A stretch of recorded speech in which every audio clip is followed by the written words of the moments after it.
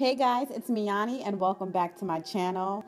We are doing another DIY video today. I've been gone for so long and I'm so excited to have this video up for you guys today.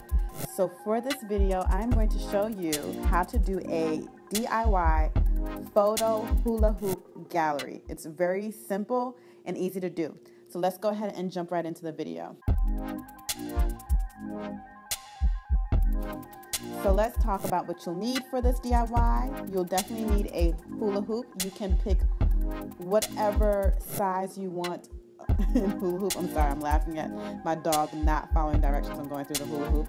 You'll need a hot glue gun, some spray paint, and some ribbon. Now I only have one roll of ribbon here, but I highly suggest getting two just in case you mess up.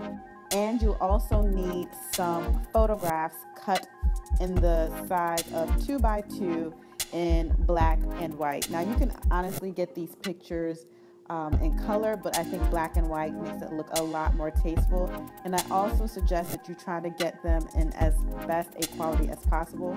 I printed these pictures on photo paper, I think that's what it's called, on an HP, on an HP, whoa, on an HP printer, but you can do as you choose. I would have preferred my pictures look a lot less pixelated, but that's neither here nor there. So the first thing you're gonna do is get your hula hoop out and start spray painting it.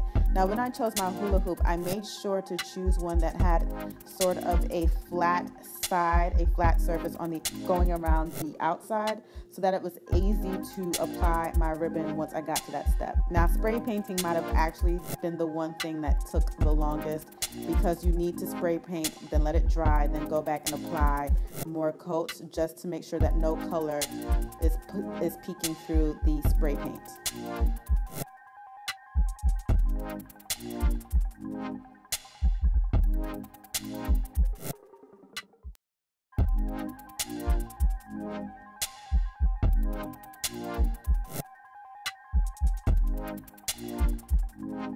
Once I was done spray painting and waiting for it to dry, I went ahead and cut out my, I think it is two by two squares, but it might be three by three squares of my pictures that I chose for the gallery. I wanted to use this nifty kit that I got that um, allowed me to cut out the pictures, but you can honestly just use scissors. It would probably go much faster. I'm terrible at cutting straight lines, so this instrument made it easier for me, but you can also use scissors so that it goes by quickly. Next up is measuring the ribbons. So what you want to do is make sure that there's at least an inch to two inches of ribbon left over once you've measured it straight across the diameter of the hula hoop. This is where I realized that I messed up because I should have bought more ribbon in prep of how bad my cutting those different pieces of ribbon would be, if that makes sense. Basically, I'm terrible at measuring things, so I should I always have to buy materials and supplies in excess to make sure I don't jack anything up. So once I'm done cutting my ribbon pieces, I decided to choose how I wanted the ribbon to be laid out across the hula hoop. Once I figured out how I want the ribbon to lay across the hula hoop, now it's time to hot glue the ribbon to the actual hula hoop.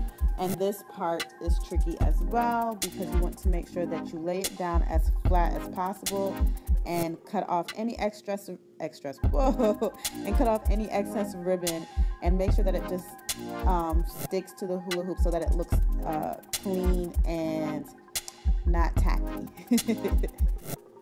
which I'm also horrible at as well. This was a bit hard because it was hot that day. That hot glue gun was hot. I was burning my finger. I burned a couple holes in that tarp. It was just, it was a rough time. But I'm happy that I got all the way through it and got it completed.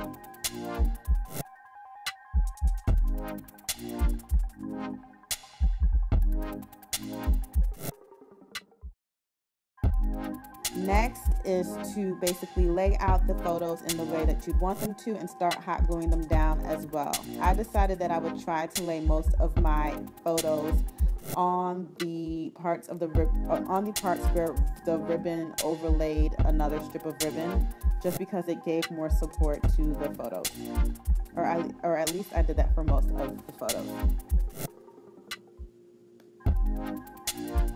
After that, it's time to let it dry in a safe place so that it doesn't get messed up.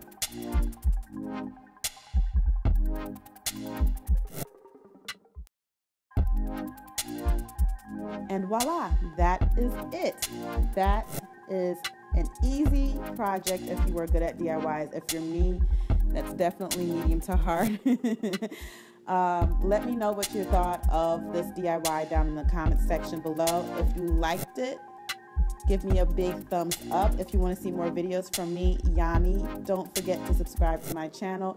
And also, you can go ahead and check out my new website, Yanni Paul, at www.yannipaul.com. Thank you guys so much for watching today. I love you guys. Until next time, bye. Thank you.